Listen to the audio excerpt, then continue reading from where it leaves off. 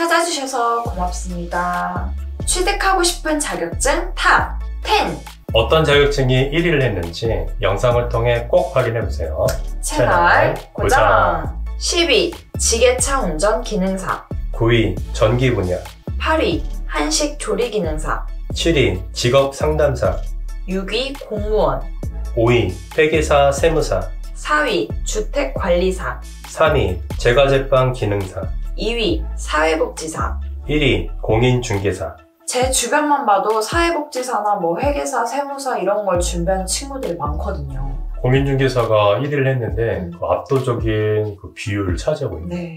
오늘은 가장 취득하고 싶은 자격증들에 대해서 알아보았습니다. 다음 시간에도 유익한 영상 가지고 찾아오겠습니다. 더 많은 영상을 계속 보고 싶다면 구독, 좋아요, 알람 꼭 잊지 마세요. 지금까지 시청해주셔서. 고맙습니다.